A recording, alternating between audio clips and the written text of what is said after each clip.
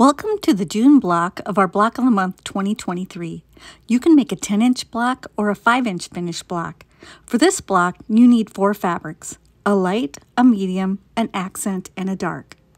The pattern for both sizes is at the end of the video. For now, it's time to cut. From the light fabric, cut two rectangles that are 2.5 inches by 6.5 inches. You also need one square that is 5 inches by 5 inches. You will bisect this square corner to corner to get two triangles. You will use one of the triangles in the block.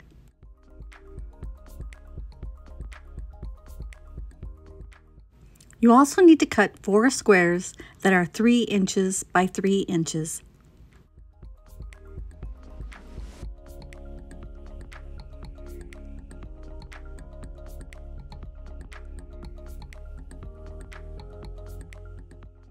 From the medium fabric, you need to cut six squares that are 3 inches by 3 inches.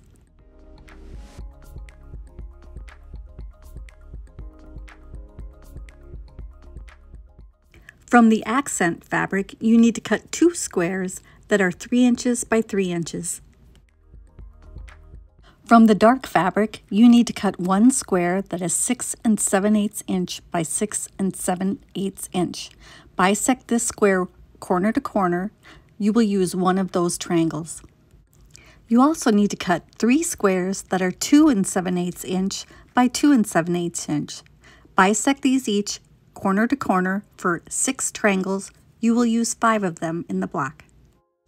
I save my extra triangles so that I can hopefully use them in a future block.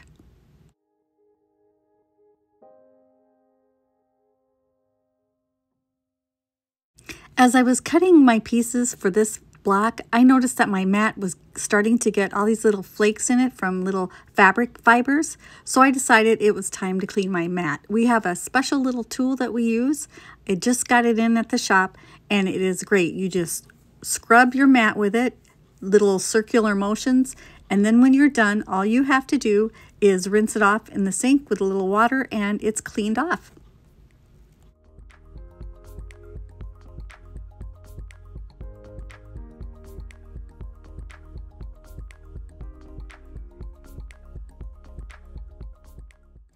Unless directed otherwise, please piece using quarter inch seam allowances. With the right sides together, match up the six medium squares with the four light squares and the two accent squares. I'm going to use my diagonal seam tape to sew a quarter inch away from a center line that goes from corner to corner. If you don't have diagonal seam tape or a similar product, you can simply draw a line corner to corner on the wrong side of the light fabric and sew a quarter inch away from the line on both sides of the line. If you're enjoying our 2023 Block of the Month, we hope you'll remember to hit the like button, share the project with your quilting friends, and subscribe so that you don't miss any of the future blocks.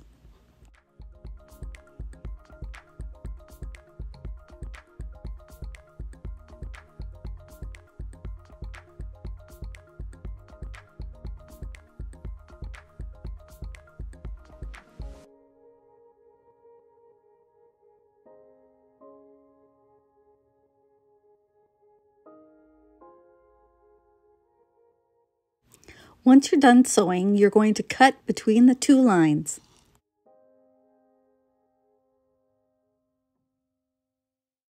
Before I press, I'm going to also sew the small dark triangles onto the ends of the 2.5 by 6.5 inch light rectangles. You want to have one that points to the left and one that points to the right.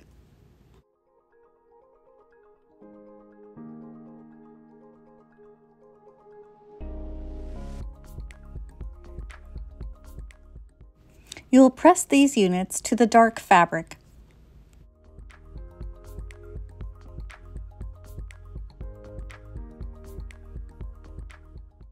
For all of the half square triangle units, you will press away from the light fabric. You will have eight half square triangle units made from the light and medium fabrics. You will only use seven of them in the block.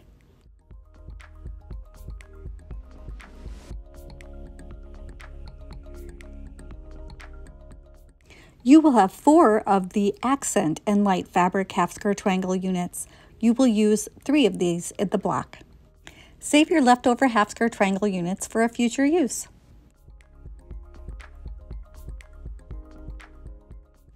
Trim all of the half square triangle units to two and a half inches by two and a half inches. My favorite tool for squaring up these units is the Bloc Loc ruler. You use the channel on the back side of the ruler to lock onto the seam and keep the block stable.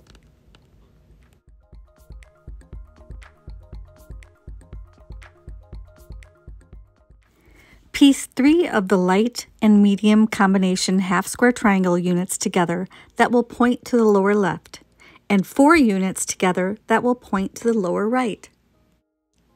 In each of our black videos, we are showing the three different colorways that we are working on. If you're working on a different colorway, share your ideas in the comments section below.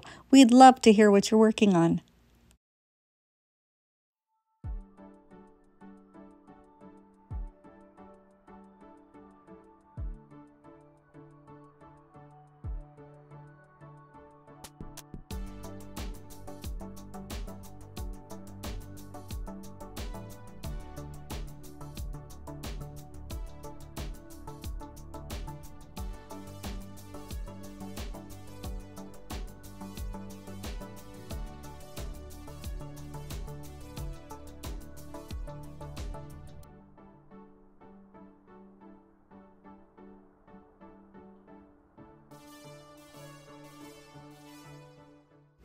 Next, we're going to use the accent and medium half square triangle units with the small dark triangles to make the rows that will make a larger triangle.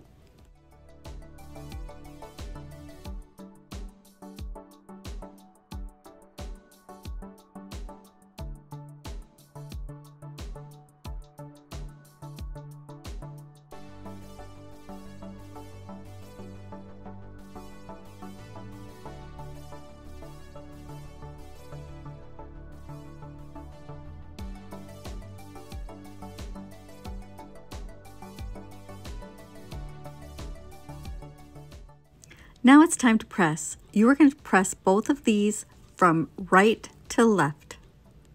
I a lot of times will press from the back side first just to get the seams to go the right direction and then I will press it from the front just to make it lay a little flatter.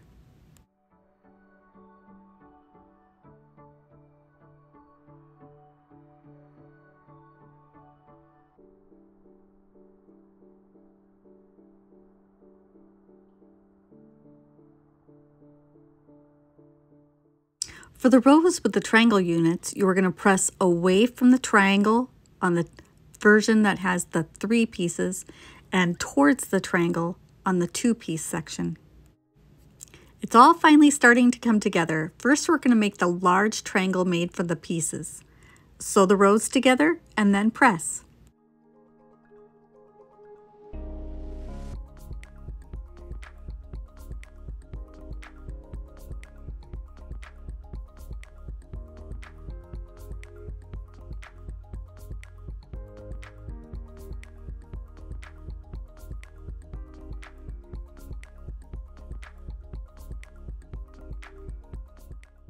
After pressing, trim the little dog ears off the side of the triangle.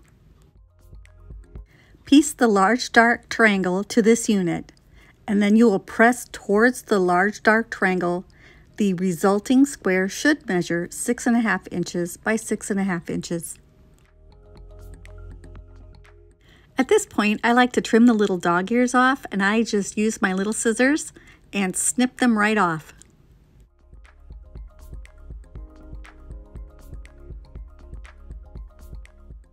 Just going to do a quick little finger press here instead of getting the iron out. Piece the unit that has the three half square triangle units to the left side or the top side of the big triangle unit and press towards the big triangle unit. If you've been pressing as shown, these seams should nest together. You can also pin if that makes you more comfortable.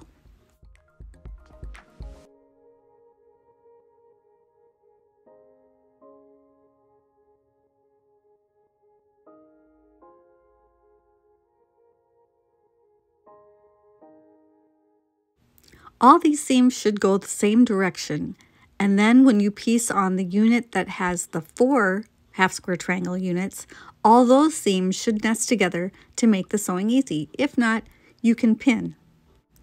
I tried my hardest not to have to pin, but sometimes you just have to do it.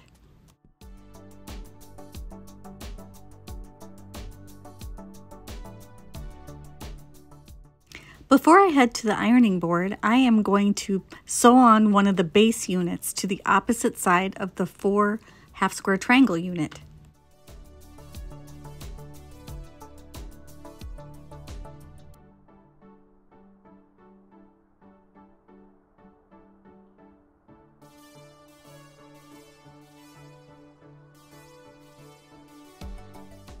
Press both of these sections away from the center of the block.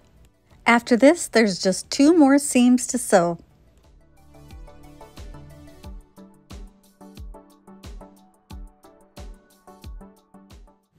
Piece the other base unit to the other side of the block.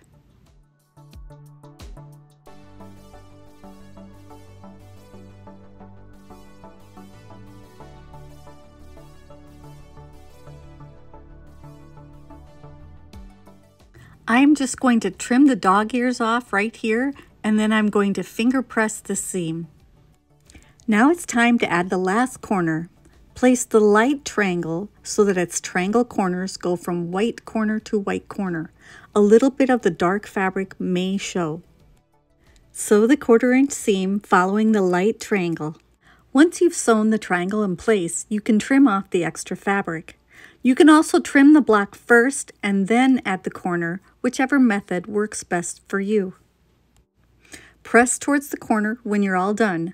This block should measure 10 and a half inches by 10 and a half inches. Trim as necessary. Here are my 10 inch and 5 inch block done in the 30s fabrics. Aren't they cute? And here is my red and white version. I did a little bit different coloring in this one with a light colored basket. And then there's my Christmas blocks. We hope you remembered to hit the like button, leave a comment, share with your quilting friends, and subscribe. A downloadable version of this pattern may be found in the files section of our Facebook group called The Quilted Forest Friends, or you can push pause and take notes, or take screenshots and print it home. Thanks for watching and happy quilting!